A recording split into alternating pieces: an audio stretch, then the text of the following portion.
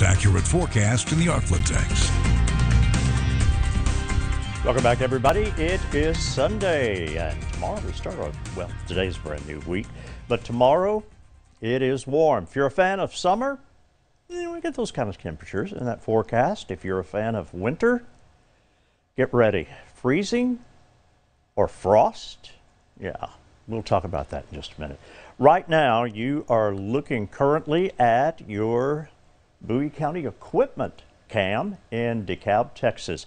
Just about all the Arklatex right now with gray skies. And the further south you go, there is some heavier rain coming down, but we're seeing showers begin to redevelop across the northern parts of the Arklatex. So yes, the gray sky you're seeing there is going to last a while. Here it is down to the south. There is uh, more activity coming in through Henderson and likely to Carthage and Mansfield.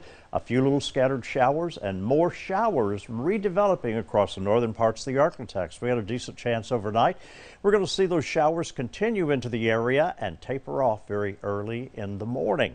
So with that said, how about those afternoon high temperatures?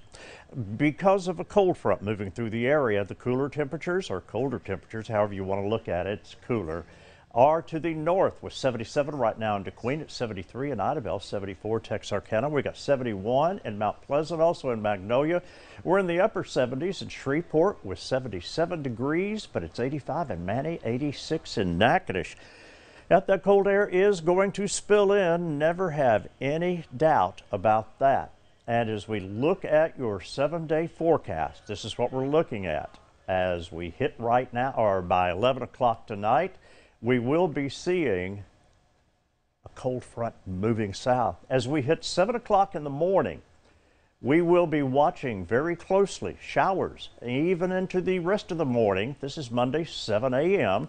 And then Monday at noon, we will see, yes, a starting to clear and rain or showers exiting the southern portions of the area. Very strong north northeast winds coming into the area will be found. And as we go to Monday, 7 o'clock, a lot of the area is going to already be clearing skies. And as we head into Tuesday at about 7 p.m., we will have clear skies all the way around. Some of the coldest air of this fall season is going to spill rapidly into the Arklatex. As we go into Wednesday at 7 a.m., you bet, high pressure, very dry conditions, and very cold conditions are going to spill into the Arklatex with 7 o'clock Wednesday morning, a likely freeze from the northern Arklatex right down to I-20.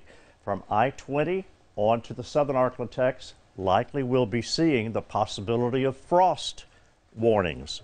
So with that said, be prepared. We are going to see some very cold temperatures and as we go on into Wednesday 7 p.m. and Thursday morning, we will see still, despite a southerly breeze, another round of cold weather. All right. Tomorrow morning, 56, 73, 20% chance of a few little morning showers, southern half of the area, 42 and 62. Wow, that's a big drop. North winds at 12.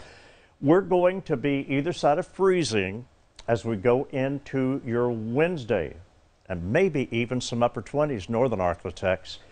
Be prepared. Tender vegetation, pipes, the whole routine. As we go into your Thursday, after a high of 63, we drop down into the low to mid 30s, maybe even some upper 30s far south. 76 begins a warm up, 83, then 85, and then another little chill front, but only 84 by Sunday. Remember, possible freeze and frost coming on Wednesday and Thursday morning. We'll be right back.